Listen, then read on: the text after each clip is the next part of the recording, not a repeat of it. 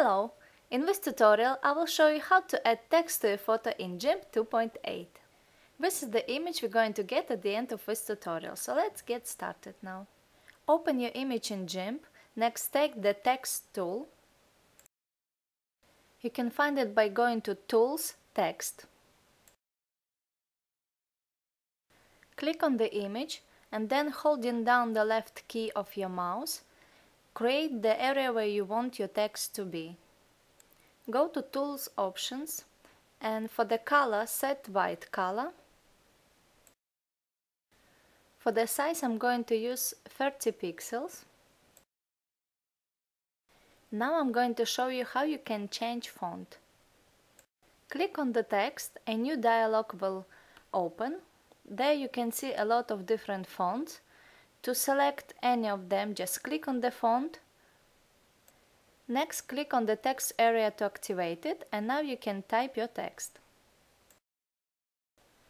I am using a quote from a book, which I thought would go well with photograph. And now I'm going to show you what else you can do with the text tool. First of all, you can choose how you want your text to be justified. I'm using the left side option. Next one is the right side option. Also there is the center aligning. And the last one is the justified. Now I will explain how the next tool works, which is letter spacing. Click on the arrow pointing up and you will see how your letters are becoming spread out. And as opposite, if you click on the arrow pointing down, you will see how the space between the letters are becoming smaller and smaller. For this image I am using 3.0 option. Next one is the line spacing, which controls the spacing between the lines.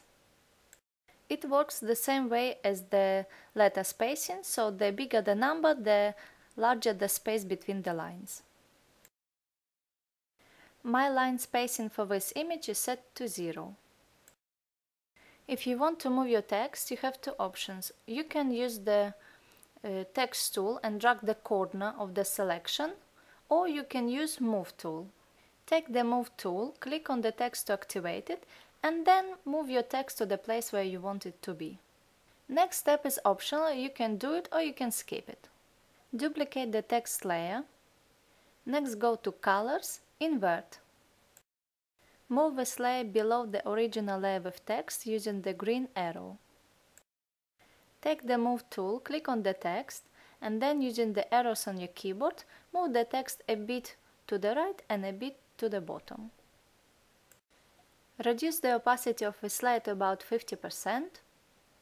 And now you will see how the layer with black text added extra dimension. Now go to Image, Flatten Image. To save the image, go to File, Export.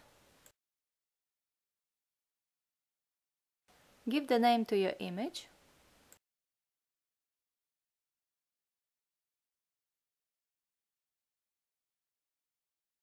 Next, click Select File by Type by extension. Scroll down until you find JPEG image extension, then select it. Next click Export. A new window will pop up. Make sure you keep your quality at 100% and click Export. Thanks for watching and please leave a comment if you enjoyed it.